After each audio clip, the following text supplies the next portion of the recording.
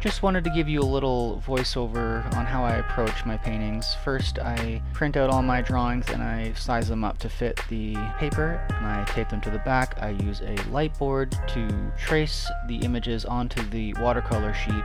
I used pencil first for this page, but you can jump right to marker or ink. Now you will find that with the thicker papers, using Sharpie marker, any felt tip marker, over a period of time, the lines are going to get thicker and thicker because the thicker paper has more bite and more tooth and more texture and that's going to break apart the felt tips. Uh, and because of that I had to use two Sharpie markers during this process just to keep the lines how I wanted them. Like they start out pretty thin at the beginning and by the time you're done lining the whole thing, you know, your three line weight's heavier.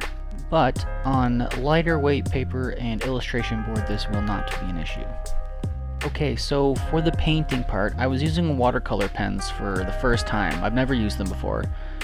I was unsure how to use them at all. They are activated by squeezing the pen, it's a pretty thin plastic, and I found that the water flow was a little bit too heavy after the initial squeeze, and there's no way to really control that. But once the pen, you know, had a couple passes, and when the water was at 50%, it was really nice flow and super easy to control. The convenience of having the water inside the pen is very, very nice. Now I did find when using these pens, because of the amount of water flow, there was a lot of pigment loss. And what I mean by that is when the ink is drying, uh, it is evaporating with the water.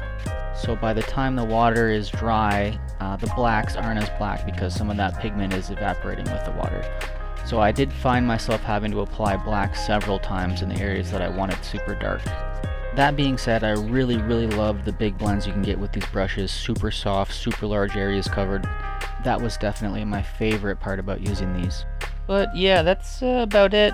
Uh, this was my first painting in a while, so I kind of had to relearn how to paint. Um, but yeah, if you guys have any questions, uh, don't forget to comment. Uh, follow my Instagram, Stevie Boy, and uh, see you the next one. Thanks.